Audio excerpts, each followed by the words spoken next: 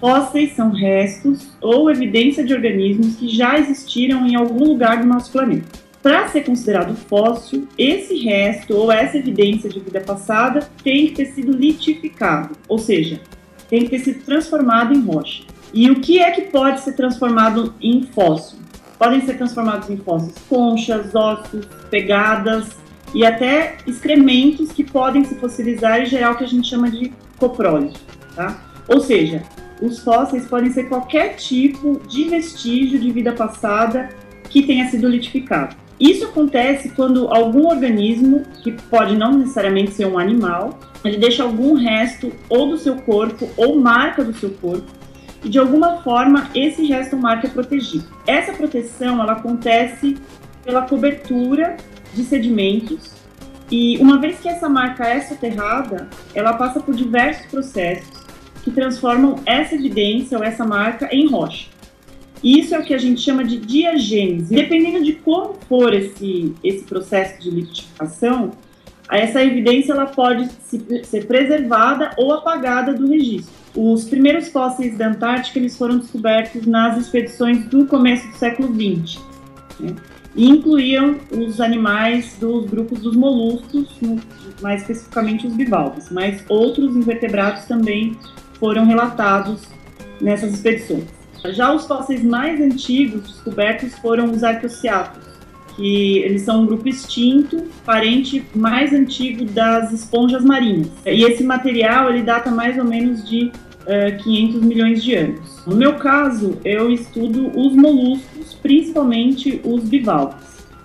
Os moluscos, eles são um grupo que inclui as lesmas, os caracóis, os caramujos, os mexilhões, mexilhões, as vieiras e todas aquelas conchinhas que a gente costuma ver na praia, mas eles também podem viver nos rios e alguns, inclusive, podem viver também em ambiente terrestre, como aqueles caracóis que a gente vê no jardim da nossa casa. E mais especificamente, eu trabalho mais com os bivalves, que são as conchas que a gente normalmente encontra na praia. Existem várias informações que esses organismos podem nos dar, principalmente sobre a Antártica, mas eu uso dois métodos principais que é a paleobiogeografia e a tafonomia.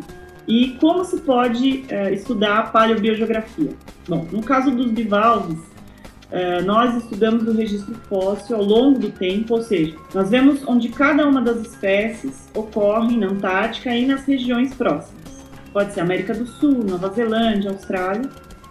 E vemos a ocorrência dos fósseis desses grupos ou as espécies e como esses grupos mudam, o registro fóssil deles muda de um lugar para o outro ao longo do tempo. Uma das formas de estudar a evolução das correntes marinhas do passado é ver como o registro desses organismos, que podem se dispersar pelas correntes marinhas, uh, ao longo do tempo. Um outro exemplo, que é uma, uma das, das informações que a gente pode ter com o estudo dos moluscos, é entender como aconteceram as, a, a abertura e o fechamento de passagens oceânicas e qual a relação dessas, dessa abertura ou fechamento com o histórico climático da Antártica. Agora, outra linha de pesquisa é a tafonomia. A tafonomia é o estudo de como um organismo foi parar em determinado lugar e se fossilizou. E é por meio dessas informações, essas informações que ficam guardadas naquele fóssil, é possível inclusive estudar, por exemplo, a evolução de uma paisagem. A minha pesquisa na Ilha Seymour, ou Ilha Marambio, ela tem o objetivo de entender um pouco melhor como toda aquela exposição uh, de rochas que se calcula que chega mais ou menos 400 metros de espessura, como essa paisagem foi sendo alterada e evoluindo até o topo da sucessão. E um dos aspectos que a gente consegue fazer ou extrair com a taxonomia é justamente entender como aconteceu essa evolução. E no caso dos bivalves, que é o grupo mais bem registrado nessa ilha, a gente consegue extrair informações importantes a esse respeito. E por que é que eu estudo os bivalves? Os bivalves eles são o grupo fóssil mais abundante de todo o registro fóssil e surgiram há muito tempo, né, há mais de 500 milhões de anos. É, quem vai à praia vê a quantidade e a diversidade desses organismos. Né? Então, eles têm uma diversidade muito grande, eles são bastante abundantes, eles têm partes duras, que têm um potencial, então, de preservação e fossilização muito alto.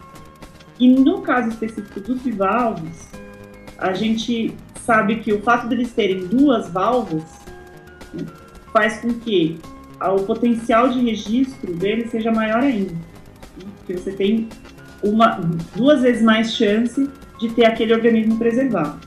Outra característica importante dos bivalves é que a maioria desses organismos é marinha. Então, a chance de um organismo ser preservado, primeiro, é muito maior embaixo d'água, mas principalmente em ambiente marinho. Por isso, os oceanos são as grandes, as, as maiores e principais bacias sedimentares do registro. Talvez as pessoas não achem os bivalves bonitinhos, mas do ponto de vista científico, eles dão informações valiosíssimas para nós, os cientistas.